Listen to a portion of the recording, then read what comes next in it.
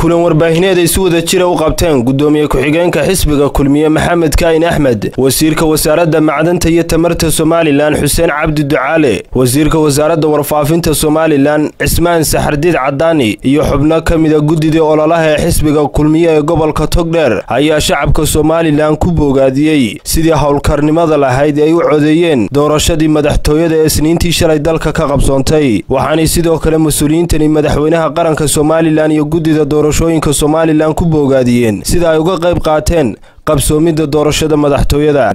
Komishanka doorashooyinka nabadgelyada sugidda difaaca qaranka iyagana aad iyo aad baynu ugu mahadnaqaynaa. Waxaanu mahadnaqaynaa axsaabta qaranka oo tartan wanaagsan oo xor iyo xalaal ah ay soo dhex martay muddadii ololaha xadidani uu jirtay iyo muddadii ka horreysayba. Waxaan qaranka somalilan leenaa ugu baaqaynaa maanta xusbiyo tartamaya baynu ahayn. Maanta shicibka somalilan axsaabta ku kala qaybsanaa oo mid waliba codkiisa siinaya caawa oo goobihii doorashadu ay dhammaystirmeen oo tiradii komishanku uu tirinayo waxaynu nahay qaran mid ah axsaab qaranoo mid ah ummad midaysan oo cid walibana codkeedii ay dhiibatay. Shacabka jamhuuriyadda somalilan meel kasta ay joogaan.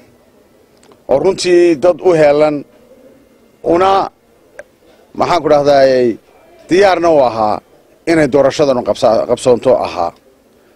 Waxaa hambalyadaas maxaanku dhahdaayey la wadaaga shacabka jamhuuriyadda somalilan madaxweynaha jamhuuriyadda somalilan mudane axmed maxamed maxamuud siilaanyo oo runtii maanta ka tegaya qaran dhisan oo horumar gaadhay oo dorasho gaadhay oo ummaddiisu ay tahay ummad isku tashanaysa. Maalintan maanta ee dhammaatay bisha saddex iyo tobankeeda ee electionkii aynu soo afjarray waxaynu ku qormaynaa bugaagta afrika. U malayn maayo dal faqiira oo dee saboola ilaahay fakhriga naga ilaaliya dal yaroo saboola oo la ixtiraafsanayn. In doorasho caynkaas oo nidaamsan oo wax dhibaatay aanay ka dhicin oo aaladihii ugu dambeeyey casriga lagu shaqaynayo inay ka dhacdo oo wax dhibaato iyo wax maalinka maanta isdhaafi aanu iman oo si fiican maanta inoogu soo dhawaatay lama filayn. Shacabka reer somalilan oo muujiyey biseylka intaa leeg iyo horumarka intaa leeg iyo yacniga in ay danahooda qofka iyagu is yidhaahdaan qof waliba ay la ahayd inuu wax qaban karayo codkiisa siiyey tartan siiyey xisbiyada iyo maganaysa murashaxiinta wax kasta ay natiijadu noqotoba kii ilaahay u calfay ama uu ma garanaysaa codku siiyo ee aynu u badanno ayaa soo bixi doona oo cidna ka hordhici mayso. Kaasaynu la wada shaqayn doonnaa iswada daba taagi doonnaa iyaguna sida ay ballan qaadeen ayay kii soo baxa ay suuqa u wada lugaynayeen ayay hambalyayn doonaan. Waxaan hambalyaynayaa shacbiga gobolka togdheer.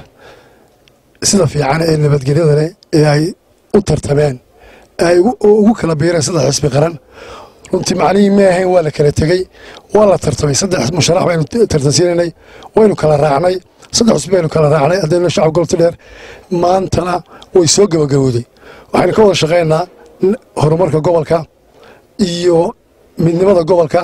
Gobolku mar walba mid buu ahaa oo ma jiro gobol qayb. Waxaasoo dhan marka la isku daro somalilan waxay muujisay bisayl iyo ay dimuqraadiyadda ay u bislaatay oo ay codkeeda qof waliba codkiisa rabitaanka iyo waxa uu doonayo uu ku muujinayo waxaa mahad leh axsaabta qaranka oo si nabadgelyo ah oo walaalnimo ah oo mid waliba dhinaciisa ka ilaalinaya nabadda. Axmed salebaan carab axmed kaafi bulsha t v burco